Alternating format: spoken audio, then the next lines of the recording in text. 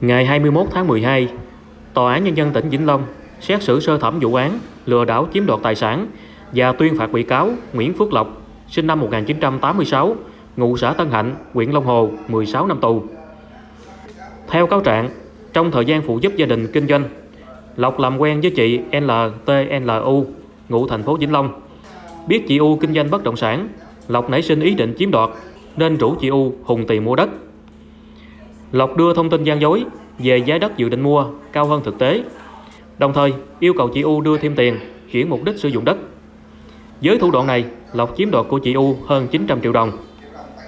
Ngoài ra, mặc dù bản thân không có khả năng, nhưng Lộc còn nhận tiền của nhiều người để làm thủ tục cấp giấy chứng nhận quyền sử dụng đất và chuyển mục đích sử dụng đất.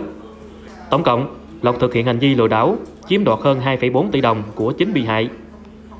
Lộc từng có một tiền án vì tội lừa đảo chiếm đoạt tài sản, chấp hành xong án phạt tù vào tháng 2 năm 2021, thì đến tháng 10 cùng năm đã tiếp tục phạm tội.